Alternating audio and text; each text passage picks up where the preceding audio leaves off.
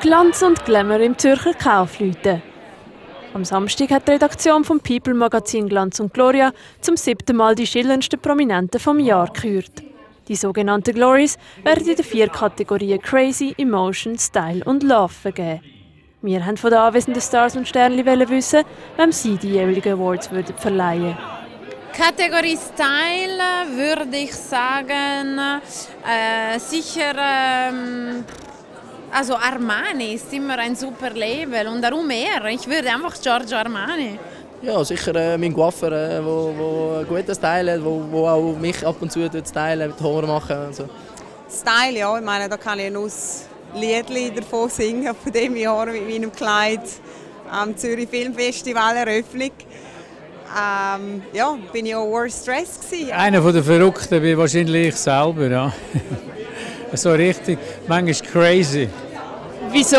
Wieso würden Sie sich als crazy bezeichnen? Ja, weil immer wieder so Sachen machen, wie zum Beispiel auf eine Kili raufgehen oder einen Nordpol mit den Schlitten oder in einem Iglo gehen, übernachten und und und.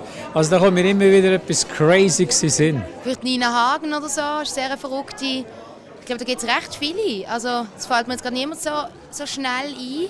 Aber äh, schauen wir mal, wer heute gewinnt. wer findest du das ideale, perfekte Liebespaar? Roger Federer und Mirka.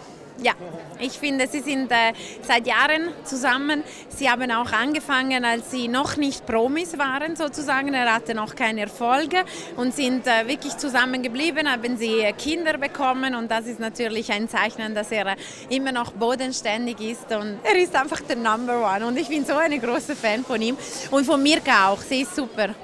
Das Traumpärli finde ich meine Schwester und ihre Freund wie sie zwei sind, das ist wirklich einfach perfekt. Die haben so quasi ähm, Soulmates, man hat sich gefunden. Gefunden haben sich letztendlich auch die wahren Gewinner vom Abend. Der Glory für den verrücktesten Prominent ist an Jörg Abderhalten gegangen. In der Kategorie Emotion hat der Baschi gewonnen, der beste Style hat Micheline Galmire und das ultimative Liebespärli sind der Emil und Nitschel Steinberger. Ja, und ich kann nur sagen, machen es alle gleich. Da können die haben so einen schönen Pokal